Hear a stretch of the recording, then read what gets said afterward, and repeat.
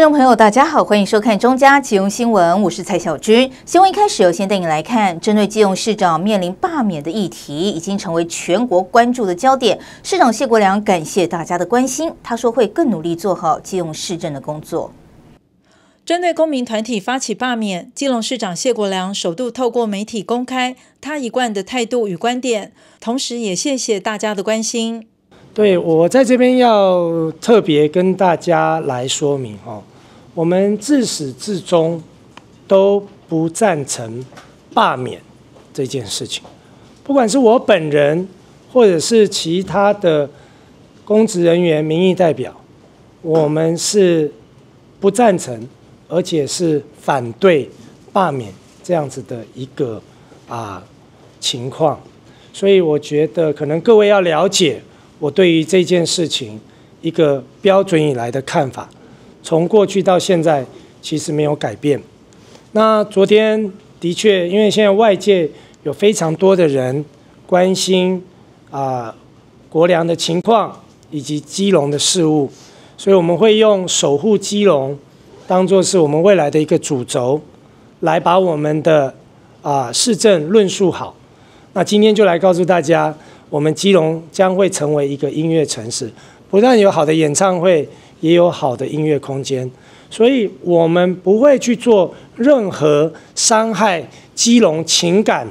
的一些情况，也要跟所有的市民朋友、跟所有的媒体朋友做最清楚的论述。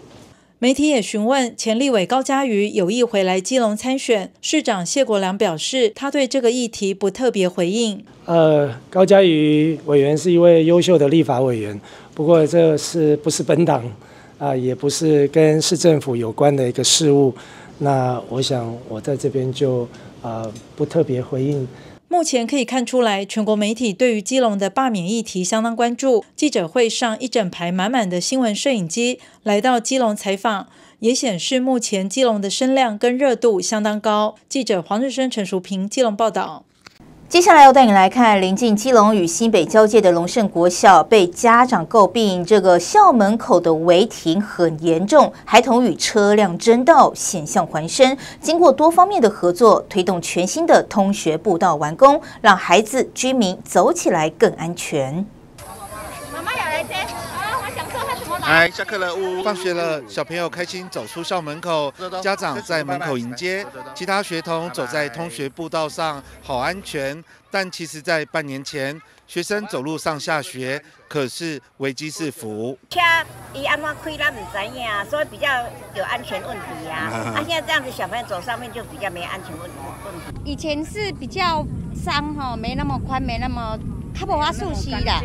哎，现在很好，干净很好。我还没有人行专用道的时候，我们站在路口嘛，那你就是要一直眼睛盯着它，像监视器一样，看它走在边边的时候会不会擦撞到车子，因为你毕竟没有一个高起来凸起物嘛，你可能要一直看着它。龙胜国小校门口周边原本是电线杆，妨碍通行；私人垃圾桶占用道路，车辆停放路边，让行人和车辆争道。经过改善之后，校门口设置了通学步道，还画设绿斑马，学童上下学更安全。然后现在有做这人行道，不仅让学校更漂亮，然后。也让我们的安全有保障，可以在其他校园内施行是更好的，因为我觉得有一个人行的专用道是对学生的保障啦，因为这就是。你机车总不可能骑上来吧，或汽车啊，因为它毕竟是人行专用的。不过通学步道能够这么顺利，全仰赖安乐区公所、市政府公务处里长和地方居民大家齐心合力，克服种种困难。除了强力沟通，拆除占用骑楼的违建，周边环境变得更干净。当我来到这个学校的时候，我发觉以往我们的上学之路是不安全的，小朋友都需要跟。人车争道，险象环生。那我们跟区长做反应以后，我们区长首先去解决占用马路的那个人行道的问题。他把那个违章建筑拆完以后，他又继续询问说学校还需要什么。那区长非常负责任的跟公务处呢做协调，我们做了这个人行步道。那也很感谢我们这个所有的居民体谅学校的需要，牺牲了一些以往的停车空空位。那让我们建成这个安全的上下学之道，我现在发觉我们的阿公阿妈送我们的小朋友，只要送到人行步道，他就认为安全了。以前这条路是被人家占用，啊，现在就是市政府跟区长跟公务处帮我们开通人行道，行人安全，小朋友又安全，可以上下课。是长久以来很多的道路，它其实是有路肩的空间，民众拿去当免费的停车使用。那最重要的就是我们要跟地方协调，怎么样在供需平衡的状况下，让民众有地方停车，而道路也能够建制妥善呃良好的人行环境，后让孩童、大人、长者能够通行的安全。我们也在去年度把相较在前一年度一百一十年一年度的行人的造事故的比率降了百分之三十三十三三十四，吼降了非常非常多，将近三分之以上。所以我们就是为了就是要给孩童一条安全回家的路。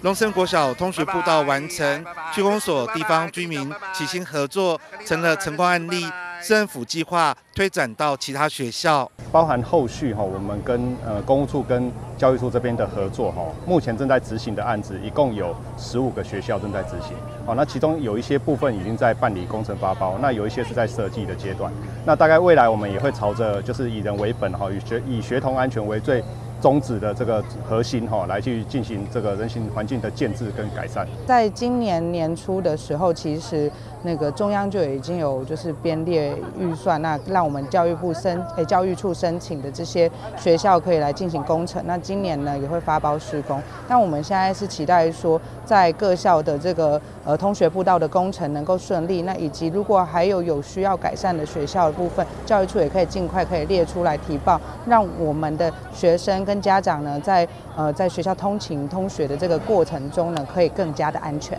通学步道改善完成，学生上下课不再与车争道，家长能够放心悠闲散步，提升了环境品质。记者黄少明就报道。再带你来看，暑假一开始，基隆社区大学西首民传国中展开了一场舌尖上的阅读活动，将阅读、海洋知识与烹饪实作巧妙结合，为升八年级的学生们带来了丰富的学习体验。那个是它的胃食米。海大养殖系教授解剖鲨鱼，带孩子看见鲨鱼构造与能食用的部位，最后制成鲨鱼丸子，进阶到香露料理。因为他们可能在餐桌、在便当或者在餐厅里面有吃过这个料理，但他不知道它是怎么做出来的。所以，我们从呃食物的原型，就是我们从食材介绍，然后让他们知道怎么样去处理食材，然后怎么样去调制呃自己喜欢风味的鱼浆，然后最后一步一步的把它煮成。菜卷或者是苦瓜风，那这样子同学第一个他知道这些食物是怎么样形成或产生的，那另外一个就是他也会知道说其实制作或取得食物不是那么的容易，那甚至他也可以在假日的时候跟家人一起去采购，然后一起去料理，一起去享用。我想这个是我们设计这门课程最主要的目的。从饮食开始，联系家人的情感，进而了解基隆食鱼文化的特色，很多功夫菜就轮番上桌。其实我们对于食物不只是吃饱，那我们还利用食物去，比如说展现在品尝时候的风味跟乐趣，那甚至展现自己的品味跟对于生活的态度。展现饮食文化底蕴是这一堂舌尖上的阅读要带给孩子们学习的议题。基隆社区大学邀请海大教授进入民传校园，探究在地食育文化与实作，能够用很活泼的方式让孩子适于。懂鱼吃鱼，所以我们希望说，透过这一堂文化，能够打造一个永续的海洋城市。那也让食鱼文化能够向下扎根，让海洋资源永续，也让食鱼教育落实。暑假第一天就投入暑期学习。那今天透过啊，我们用在地食材的引导，认识家乡的。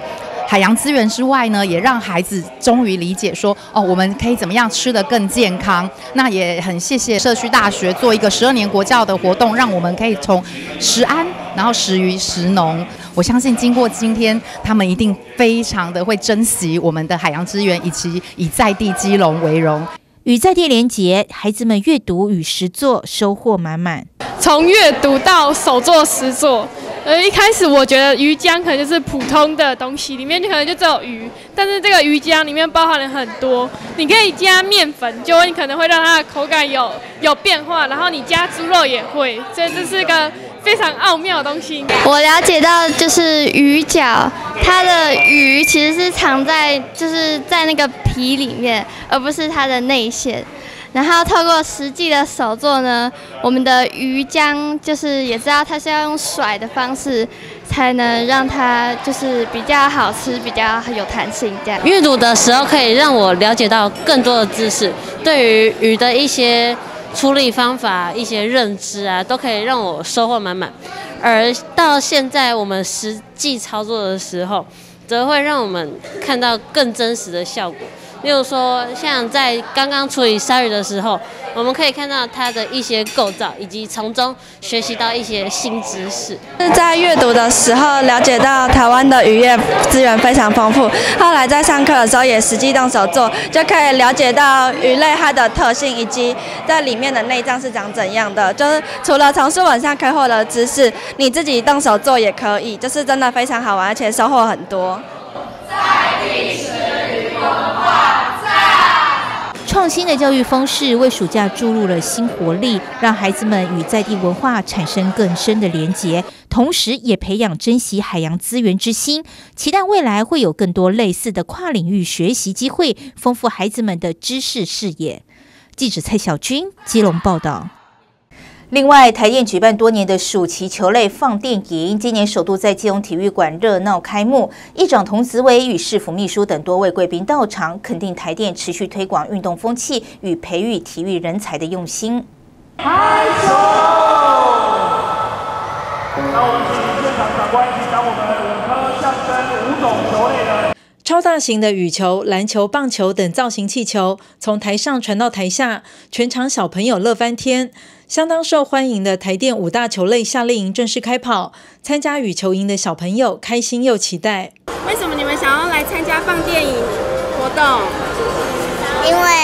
我很喜欢羽球。你很喜欢羽球是吗？很想学羽球。那婕妤也是，也是。我想学到就是。就是因为因为有因为我打羽球的时候步伐有点，就是有点，我爸说有点迟钝，就是想要让我这来这边学的比较好一点。发球。发球？为什么？因为我发球常常发不好。打羽毛球技巧太久没打了，我都忘记要怎么打。来看一下别人怎么打，说不定会记起来。请启动，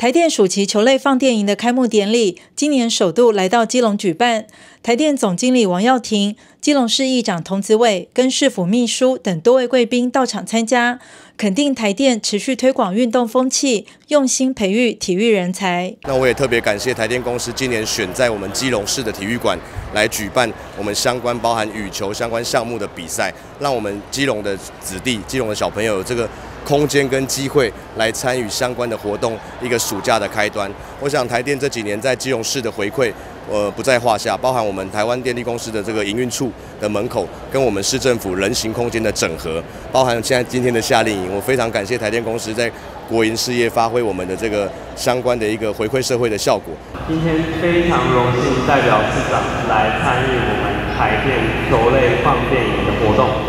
首先，请许我代表市长以及全体市民，对台电在推动体育活动还有社区互助方面所做出的努力努力表达感谢。我们往年的这个活动，其实主场大概都会在双北，因为双北其实学生度也多。那后来发现各个县市其实在推动这个体育的方面，大家都非常的努力，所以我们今年是首度跨出了双别，到了这个基隆来。那从刚开始报名的大概两千出头的人数，到今年已经到最高的三千六百人。那全国大概二十十二个场地，我们同步会在暑假的时候，让学生走入这个我们的学生走进球场，那一起来跟我们的球员哦非常真实的接触，然后学习这些球技哦。那暑假不留白，让他们的人生留下美好的记忆。正式开跑的暑期球类放电营，台电也特别邀请多位国手级明星球员和教练团亲自指导。今年在全国八县市共举办十二场次，期待带领小朋友们度过快乐又充实的暑假。记者黄日升、陈淑平、基隆报道。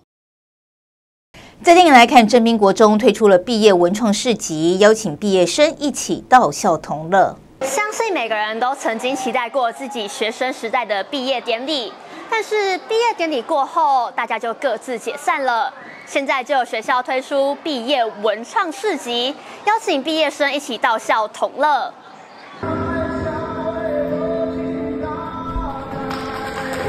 许多学生期待的毕业典礼，不仅标志着一个重要阶段的结束，同时也是新生活的开始。而毕业典礼也是师生能齐聚一起、彼此道别、鼓励的时刻。校方总希望在这温馨时刻，能为学生留下最美好的回忆。基隆市正滨国中就首创毕业三部曲，希望为毕业生留下最独特的国中回忆。我们呃希望能够给这一届的毕业生。啊，有非常啊难忘的毕业典礼。其实不止毕业四级，我们学校的老师为同学准备了毕业三部曲。我们的第一部曲是毕业露营，那第二部曲是毕业戏剧场，那这个毕业四级是我们的第三部曲。那我们想啊，因为在假日可以让同学的家长哦可以一起来参与，然后也结合社区。让社区呢能够更了解正滨国中，来看看正滨国中啊这么一个优美的校园。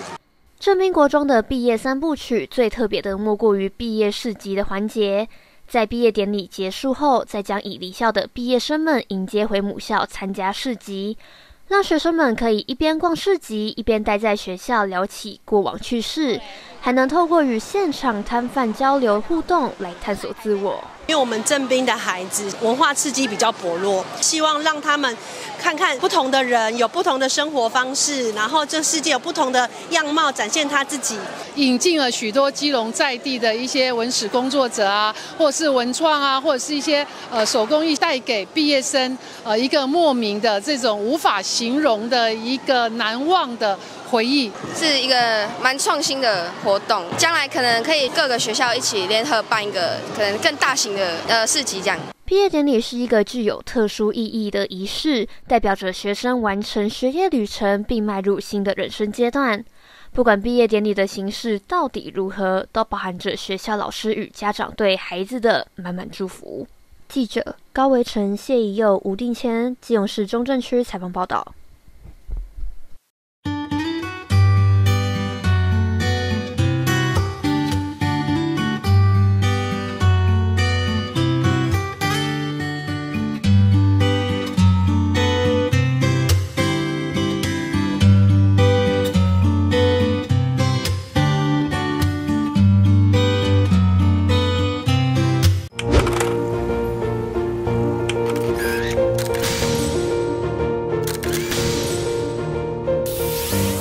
除旧砖路整平，基隆骑楼更好走。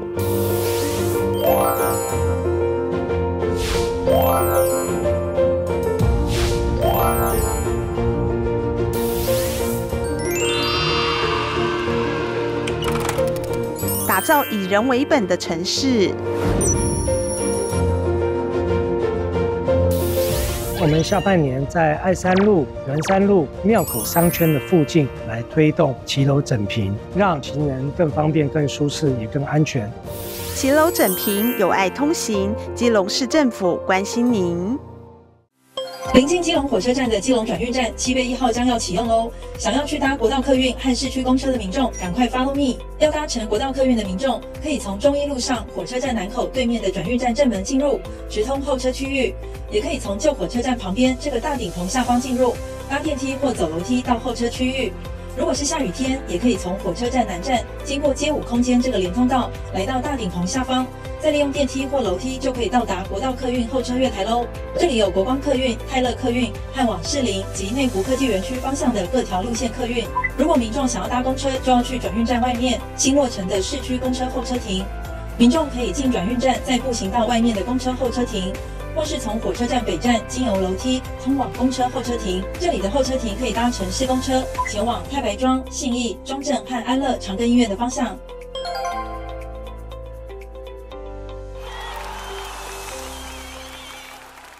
基隆慈云寺已有一百三十年以上历史，祖祀观音佛祖，配祀地藏王菩萨以助生娘娘。信众遍布北部各县市，香火相当鼎盛。慈云寺的观音佛祖相传特别的灵应，信众时常来参拜。香客们也笃信大慈大悲的观音佛祖佛法无边，能变化千手千眼来保佑众生，并济世度众。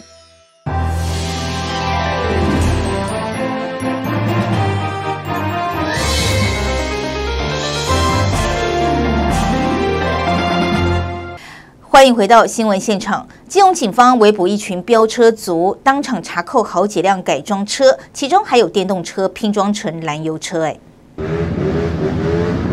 基隆百福车站前引擎轰隆巨响，路口处有三辆机车排排站，一下子冲出狂吹油门，不仅闯红灯，也没有戴安全帽，直接在马路上狂飙，严重影响到安宁。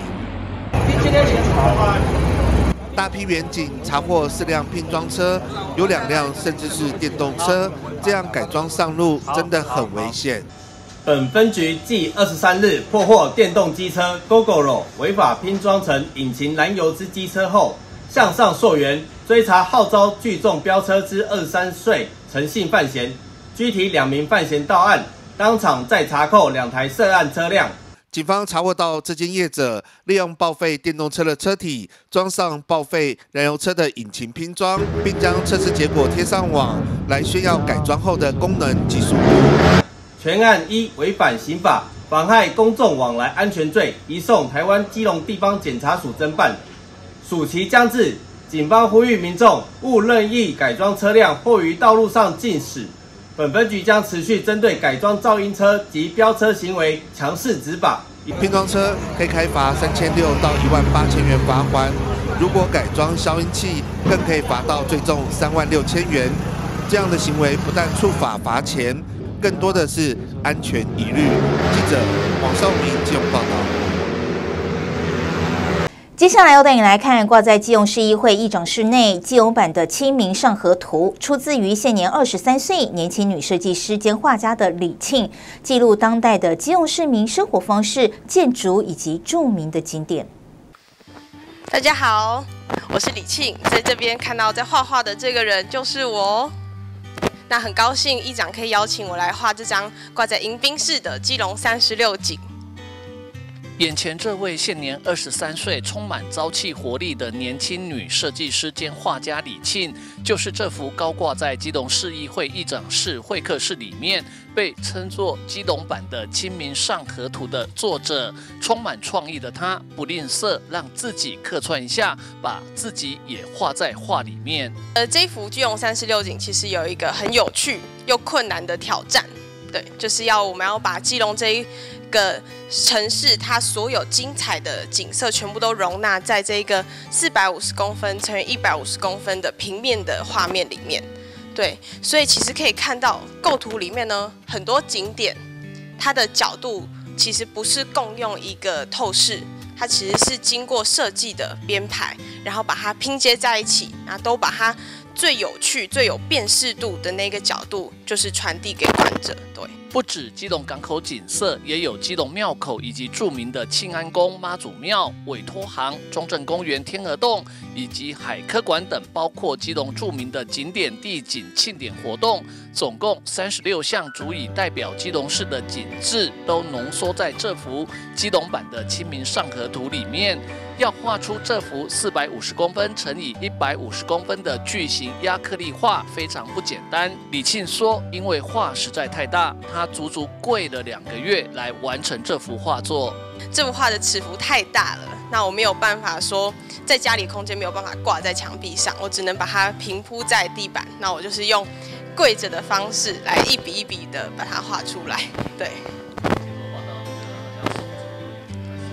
对，画到齿神经麻掉，然后后来就有去打针，那休息一下也比较好，随时可以画下一张哦。这幅三十六景它是用亚克力来画成的，那其实亚克力颜料它也是一种可以厚涂的一种媒介，只是它是相对更快干，然后在我的使用上，我会觉得它的颜色比较饱满，然后搭配上呢，我是使用胚布去绘制，就是说我没有。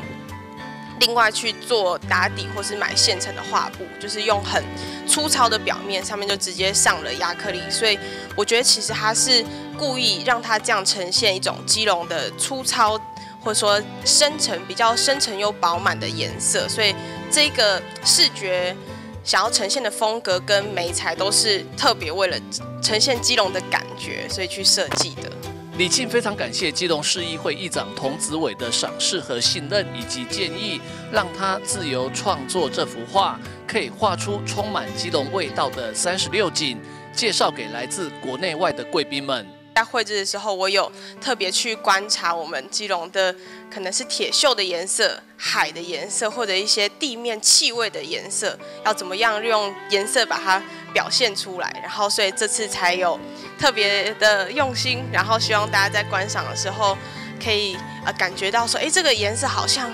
哎蛮有味道，蛮有一个基隆这个城市的韵味。议长童子伟表示，和李庆认识在上一届还在担任议员时期。李庆当时还是大学生，但是看中李庆这位年轻人满满的创意和能力，几个月前特地邀请他来画这幅名为《基隆三十六景》的亚克力画作，也让童子伟非常满意。我的想法是画了一幅基隆的一些地图，让我方便可以介绍给我们的外国的来宾或是其他县市的这个长官好朋友哈，可以方便介绍我们基隆。那我就想到了这个。我在上一届担任议员的时候，我认识了这位小朋友，叫做李沁。那时候他读大学，他来找我拍一个这个手指的一个影片。我，那时候我就觉得他是一个天才，因为他要得奖，在他去参加世界级的比赛。哦，所以我就觉得说啊，我们是不是有这个机会来这个再邀请他，在我们的议长室来放一幅这个我们基隆的这个属于我们自己专属的地图。那因为它是我们非常重要地方创生的一个环节，我们一直以来就是希望我们在地的年轻人有机会在地可以发展跟发挥，所以我们就希望他可以帮我们画一幅这个很不错的画，作为事实上成果证明了，外宾来都。为之一亮哈，那呃也把我们基隆的三十六个景色非常重要的景色可以凸显出来，而且又带了一点趣味，然后也把我们的文化历史还有我们的文化底蕴都放在里面，我觉得是一个很好的一个呃展现。那也谢谢李沁愿意我们提供给我们基隆市议会这么棒的一个画作，让我们来提供给我们所有的好朋友。国宝级宋朝绘制的《清明上河图》由故宫收藏，享誉国际，而被称为基隆版的《清明上河图》，则是在基隆市议会议长室会客室里面。作者李庆很谦虚的表示，非常荣耀，感谢大家的赞美。首先我很荣幸，然后也觉得很开心，大家有感觉到我想要传达的这种记录基隆当下我们现在这个时代他生活的样貌的这一个意图。它其实这恰恰就是基隆三十六景想要传达的，也是希望说透过一个画作，可以把我们现在的生活景象可以记录下来。虽然绘画方式、历史价值完全不能比较，不过意境内容是类似的，同样是记录当代基隆市民的生活方式、建筑以及著名的景点和地景。记者吴俊松基隆报道。以上就今天的中嘉新闻，非常感谢您的收看，我是蔡小军，祝您一切平安，我们再会。